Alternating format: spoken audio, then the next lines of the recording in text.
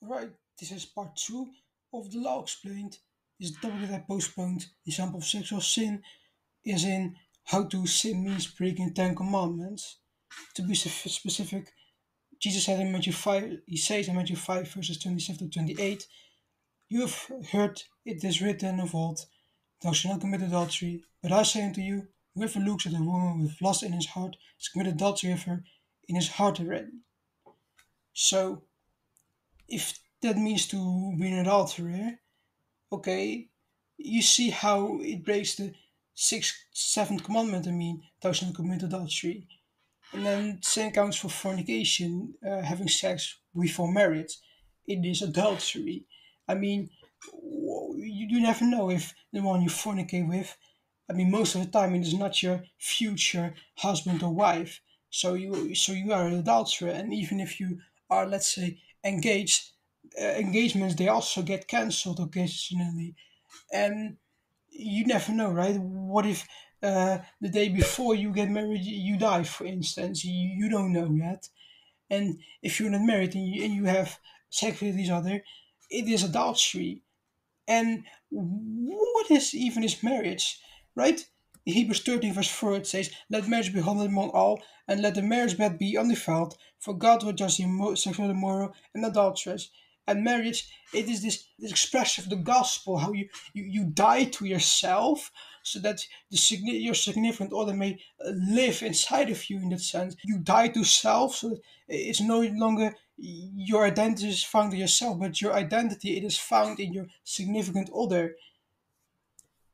That's expression in the gospel once again. Paul wrote, It is no longer I who live, but uh, it is Christ who lives in me, and the the life that I now live, I live by the power of Christ. Right?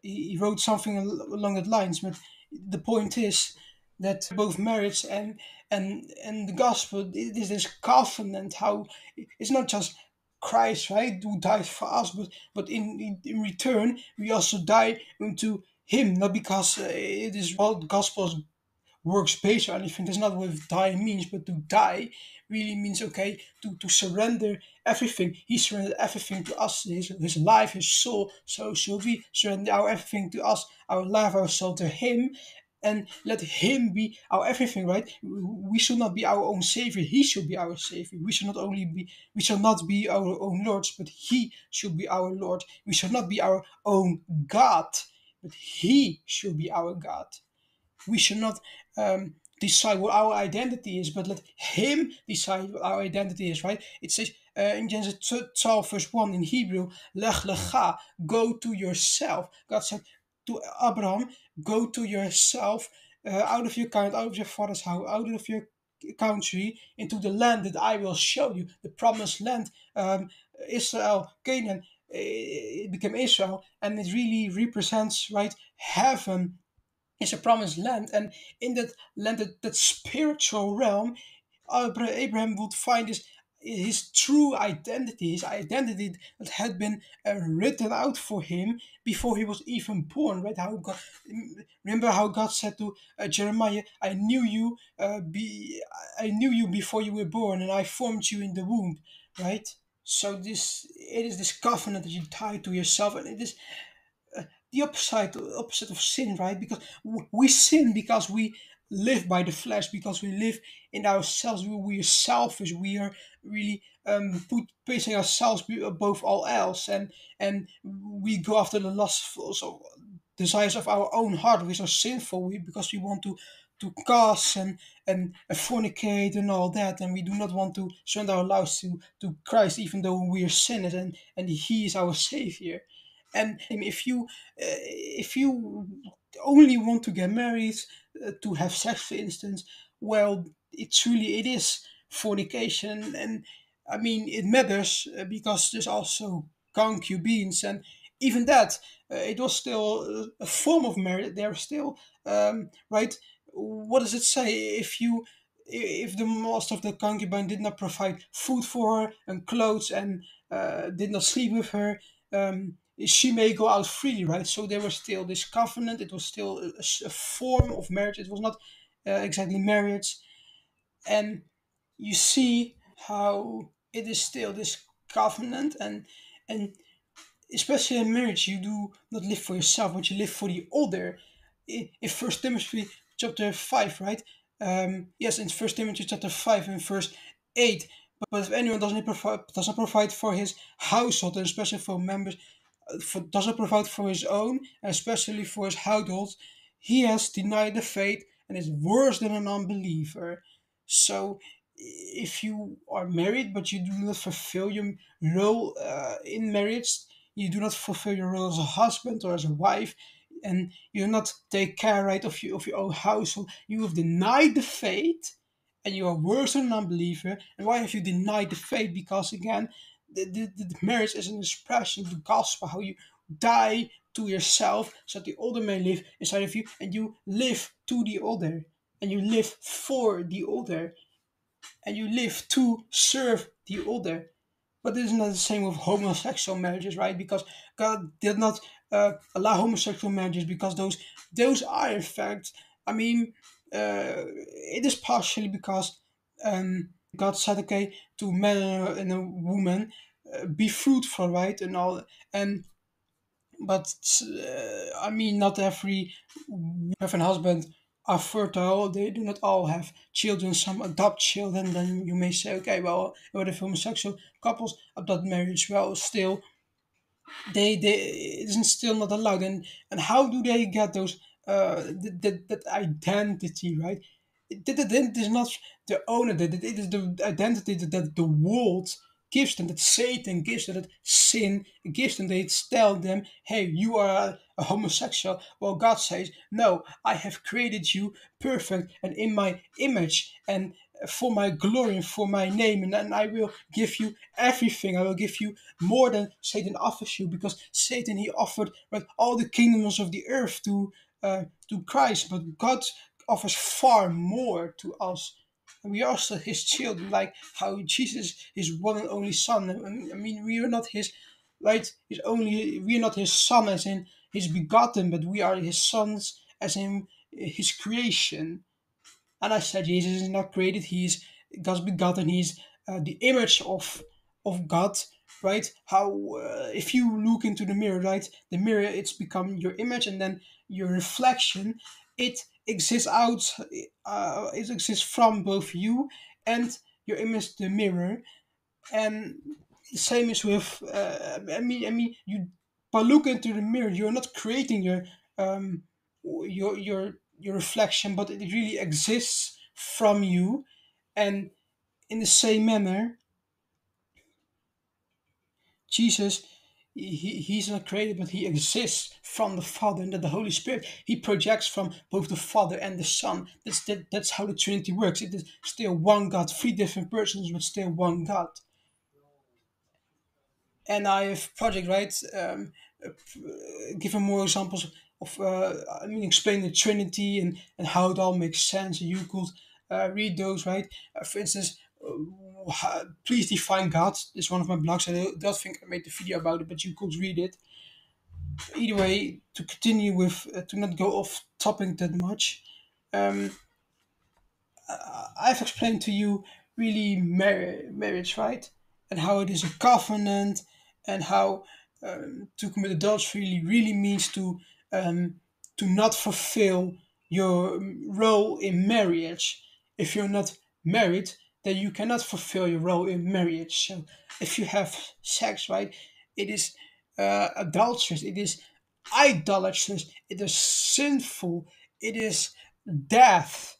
It is not life but death, right? And there's an example of how uh, to sin means to break the Ten Commandments. That um, right, sexual sin again to fornicate means you, uh, you in essence because you're not married. In essence, whether they will uh, marry someone else or not, you have already um, s- stolen them from their f- from their uh, future husband or wife. If if they do not have a future husband or wife, in essence, you've still done so and to porn, right? To to to mean, you're masturbating to something that does not belong to you. You're not married. You're not fulfilling this covenant. It is uh, again fornication, and God does not uh, grant us right th- th- this um, this nature uh, this gift of sex that we could abuse it. Same counts for anything, right? He did not give us wine, right? He done, did not permit us to drink wine so we could get drunk, but to to instead to not abuse us it and really instead use it for His glory, right? And you may wonder, well, why, how do you use alcohol for His glory, and uh, how do you drink alcohol for His glory? And it really matters more uh, that I make just trying to make an example of how uh, marriage is supposed to be for His glory, and you are glorifying Him by being a faithful uh, husband, faithful wife. You know, right? How Jesus said about this um, hardening of heart, right? And it is allowed to divorce if your significant other cheats on you, but uh, he, God does not want it. He has not uh, willfully permitted it, right? He's not endorsing it, he's condoning it uh, instead of endorsing. Okay, why porn is bad. And what marriage really is, the point is that you understand what marriage is and how it is a covenant and how to commit sexual sin means to break the covenant. Yeah, I said about God giving us this uh, nature. What's an example of alcohol, right? I mean, uh, how to use for the glory? Well, He wants us to be happy, to be to be thankful to Him, and and alcohol is it is an example of how we should treat His grace, right?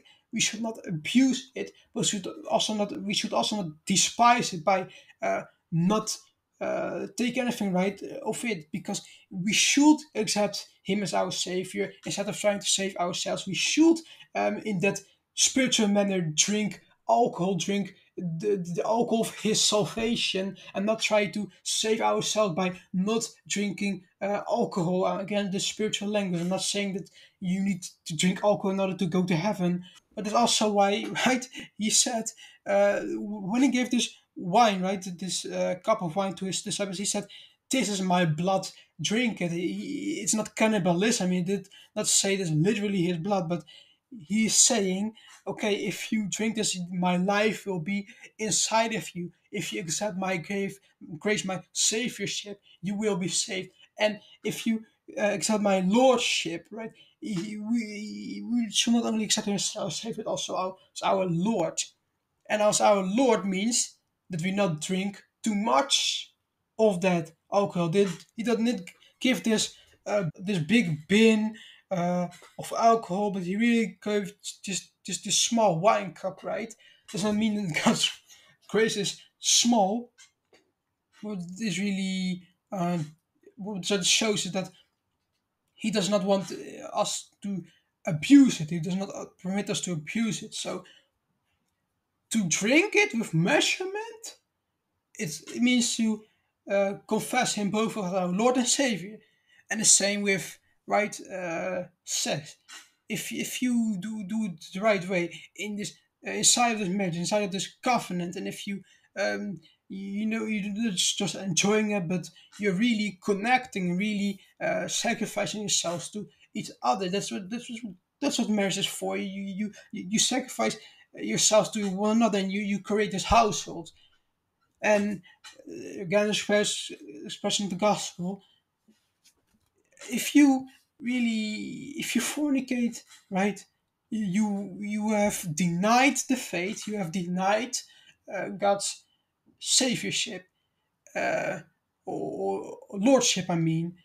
But if you do not uh, fulfill your um, your role as a husband or wife or concubine, right? Then you have denied the the the the the, the, the saviorship in that sense. And I'm not trying to say like how it says in the hadith that if uh, if the wife does not sleep with uh, her husband, that the angel will cast her into mourning. I'm not trying to say that. What I'm saying is it is still your own choice. But if you um, are not again fulfilling your role, right? Um, that's why a concubine being called leave if that if her master was not fulfilling his role in that marriage, in that sort of marriage. That's the end of the video. God bless you.